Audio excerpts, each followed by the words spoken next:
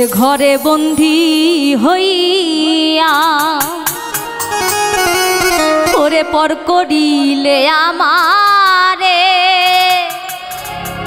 ওরে নালিশ করে রাখলাম মালিক মাউলার দরবারে। আমার মালিক মাওলার দরবারে। স্বার্থের ঘরে বন্দি হইয়া পর করিলি আমারে নালিশ